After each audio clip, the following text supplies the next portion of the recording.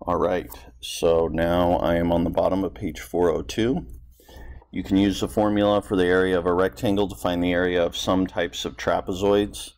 And really, um, the area of a rectangle is essentially the same thing as the area of a parallelogram, so it doesn't matter. Um, don't need to do this step, trace and cut. We're just going to remember base 1 and base 2. So this would extend out 5 centimeters.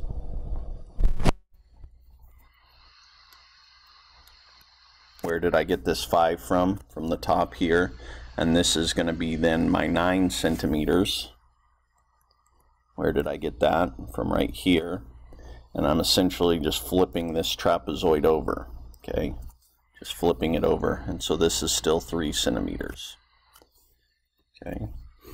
Uh, arrange the two trapezoids to form a rectangle. Well, now we have a rectangle.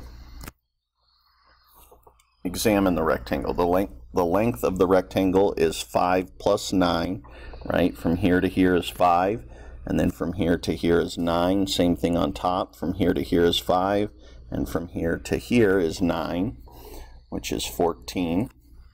The width is the same, 3. The area of the rectangle then would be 14 length times width, or um, base times height, same thing. So 14 is how 5 plus 9 would be the 14, and then it's 3 high.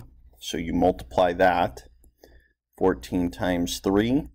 3 times 4 is 12. Carrying my 1. 3 times 1 is 3, plus 1 is 4.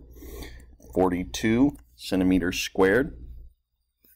Examine the trapezoids. How does the area of each trapezoid relate to the area of the triangle? Each trapezoid is half the area of the triangle. Did I do that right? Yeah. Trapezoid is half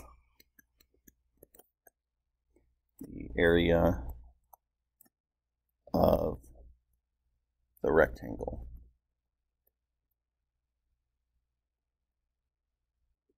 Okay.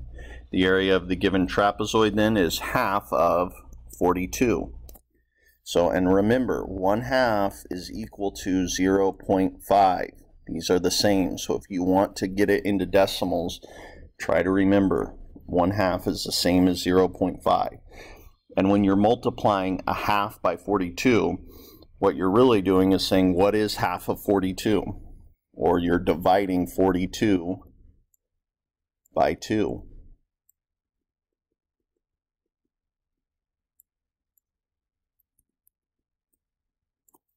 So 21 centimeters squared would be the area of each of these trapezoids. All right. All right. Again, if you have any questions, please raise your hand. We can get through this, okay?